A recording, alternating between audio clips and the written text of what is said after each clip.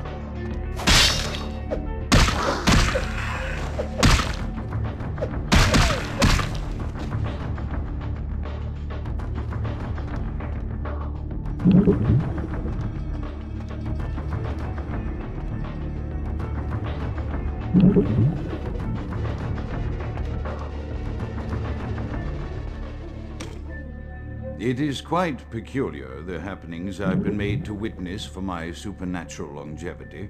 I am thinking of one unfortunate phenomenon in particular, of unique interest to my station, both as a professional and as a sufferer of this vampiric condition. It seems the stream of time has begun to erode the moorings of my chosen course of study, for the methodologies that gave birth to psychology are slowly disappearing. I find myself in an era that overlooks the physical component of psychological pathology time and again in favor of the sophistic practices of Freud. Phrenology, dactopintilism, and the rest of the old guard has fallen by the wayside, its champions all silenced in death, with my unique exception. Would that I could make my voice heard again, although it may be suspicious should I return to popular medical discourse fifty years after my apparent death. no, better that I continue my studies into the psychoses in secret. One day, may I hold up my own cure as validation of the methods. I am confident no cure for my condition or that of my beloved wife lies within our figurative minds, waiting to be unlocked by the correct combination of memories recovered from our childhoods and I'm most certain it has nothing to do with the relationship between myself, my parents, and my genitals. Sorry, Sigmund, but I choose to stay my course. In time, too, may your star fade and disappear.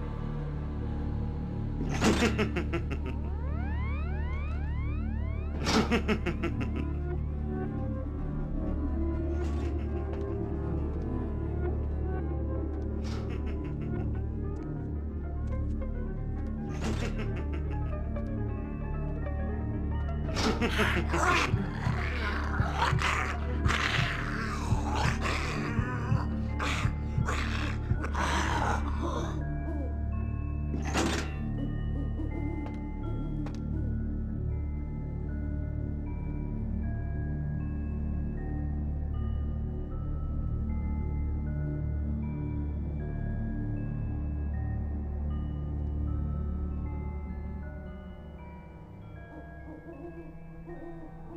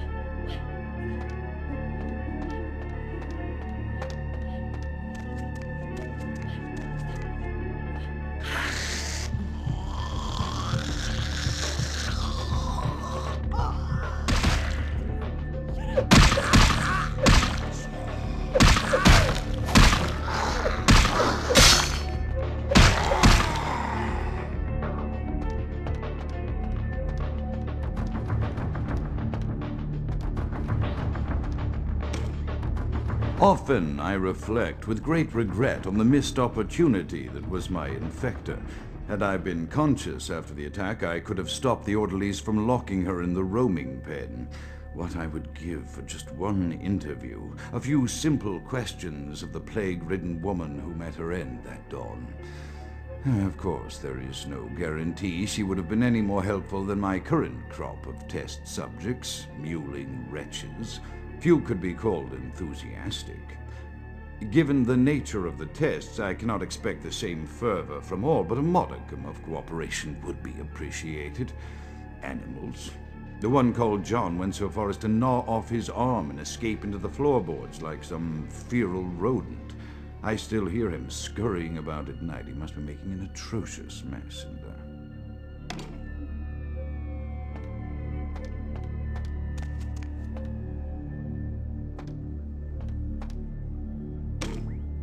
My studies proceed at a languid pace. I'm mired in a foul ennui as my wife's illness advances. My subjects grow restless without proper supervision, but I cannot pull myself back from this black depression. How many nights I've wasted now, gazing from the tower walk, pondering the frailty of existence.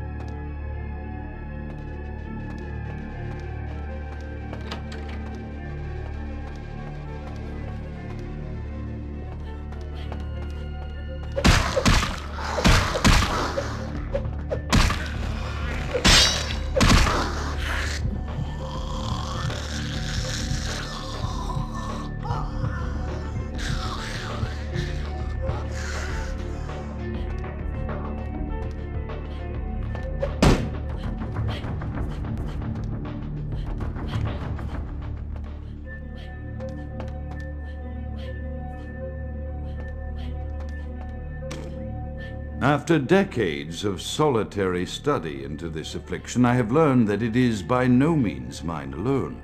Indeed, the city is home to an entire society of similarly afflicted individuals with whom I've only recently made contact.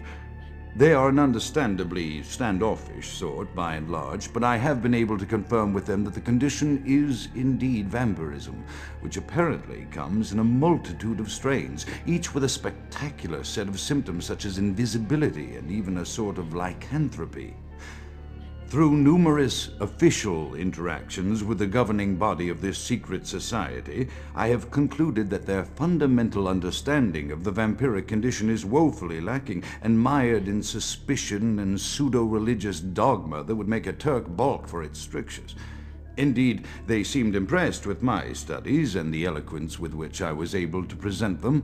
Apparently, the typical sufferer of my particular strain of vampirism is far from the vanguard of the King's English. So impressed were they that they even offered me an office in their government, a rather high office by the sound of things. I believe I shall accept.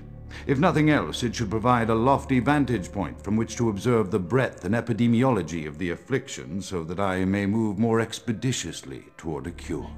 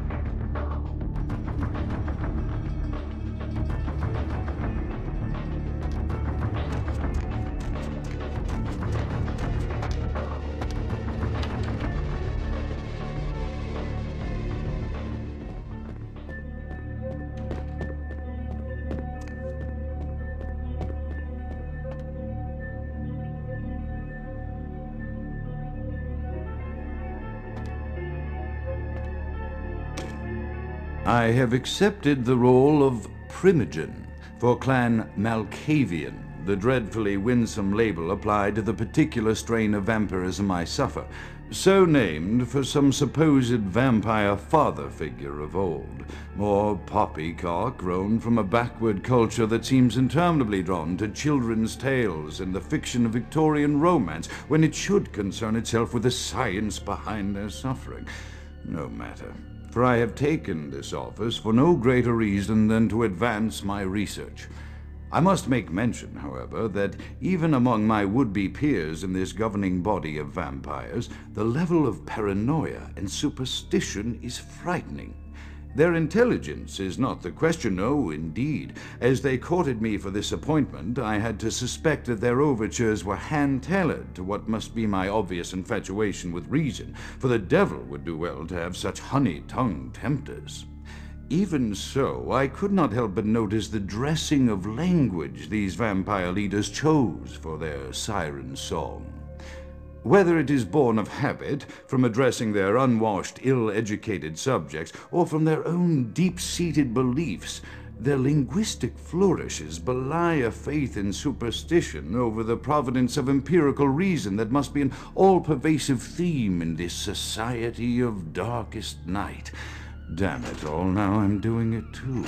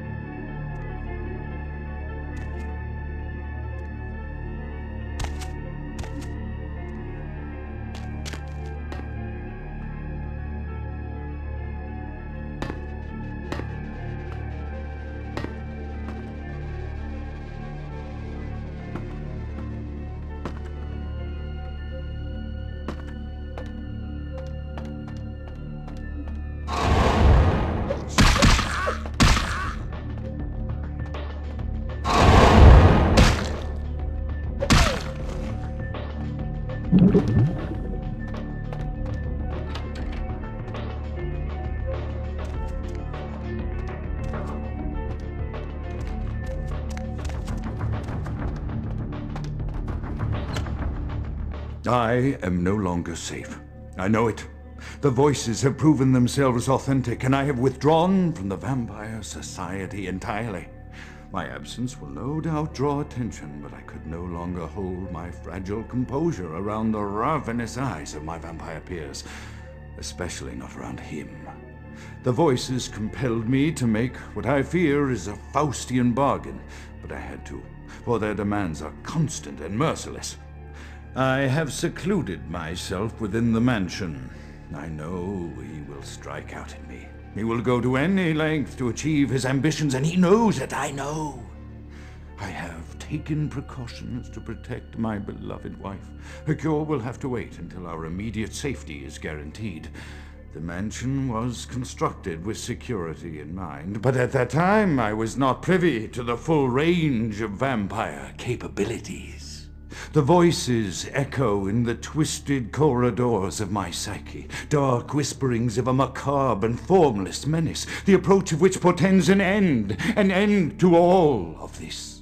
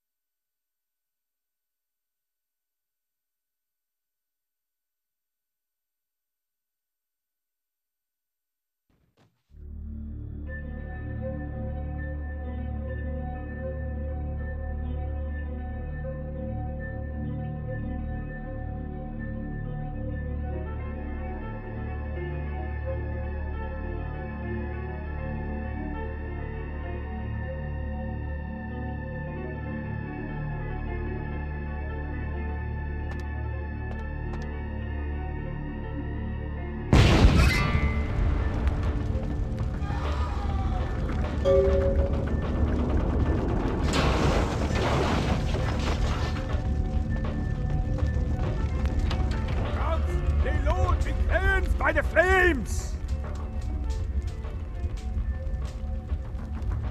Count is dead? Pity it could not be by my hand. No matter.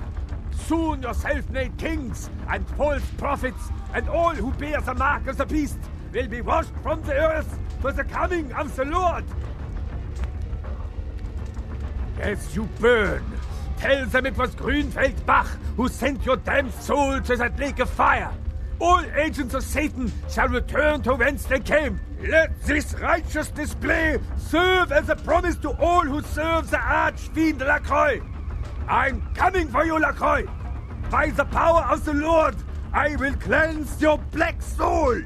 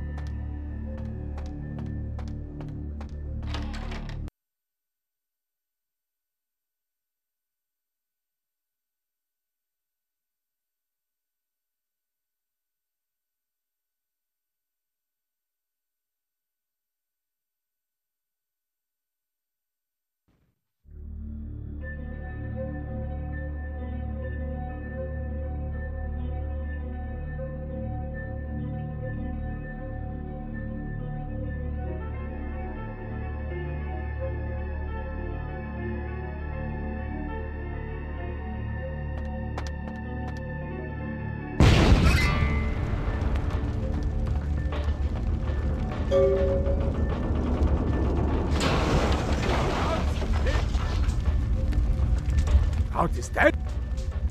As you let this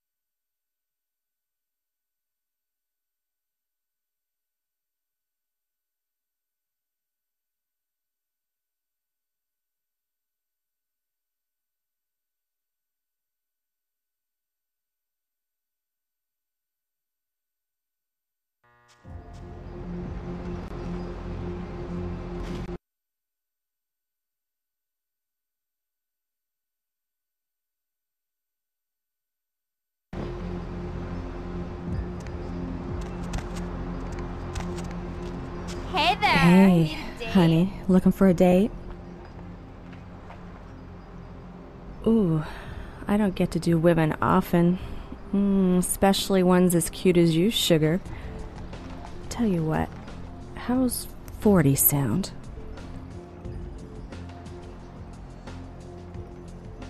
That's too bad. Come back when you've got the money. You won't regret it.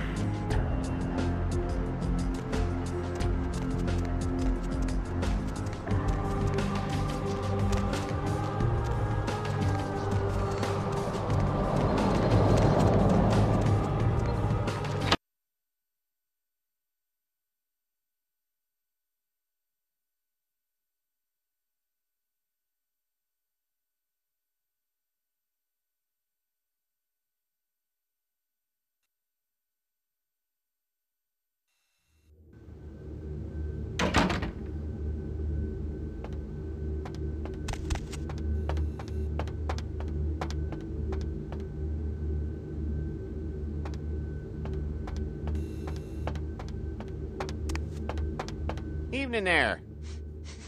Something burning? Ooh, smells like someone burnt the burgers.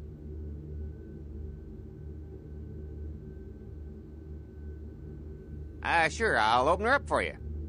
Ah, jeez, I could go for one of them double spaced burgers with the onions and the cheese and some bacon and a guacamole. Ooh.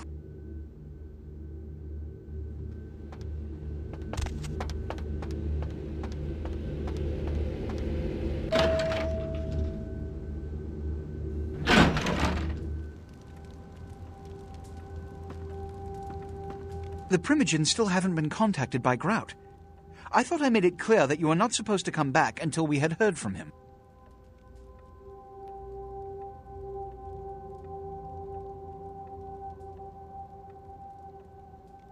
Grout's dead. What?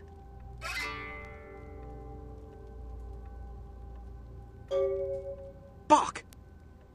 Every time I think he's lost the scent.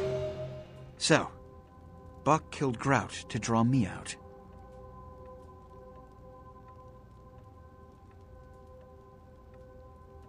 Bach is a hunter. They stalk and kill our kind to appease their god. But like many mortals, their so called faith is nothing but a conduit through which they quench their killing urge. Who else would have killed Grout?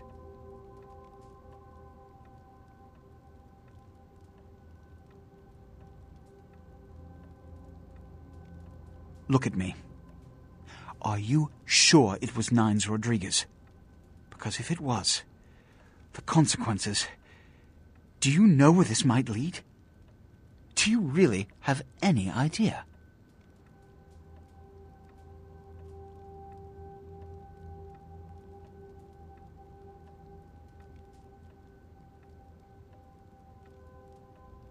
I'm glad you find this so amusing. I don't. And do you know why? It means. Under most circumstances, I would call a blood hunt on the murderer immediately. However, the anarchs of this city may interpret such an action to be a declaration of war. I do not want a war with them. This decision will take some time. I need to confer with the Primogen on this. In the meantime, I've come to a decision on the Ankaran sarcophagus, and I believe that for the safety of the inhabitants of this city, we need to place the sarcophagus under Camarilla protection until its contents can be confirmed. This also is very important, so I need to call upon your skill once more. The Ankaran sarcophagus was quietly delivered to the Museum of Natural History a few hours ago. I would like you to bring it back here for safekeeping. The manifest from the Dane shows there was a small box from the same dig on board, but it was listed as missing. Keep an eye open for it. It may have been overlooked. It's crucial we get the sarcophagus in our possession within the next few hours. Here are the keys to the front door of the museum. The sarcophagus should be in an examination room of some sort. There's a small security staff on site, but I don't want a massacre. Mortals are just as easy to deceive as they are to kill.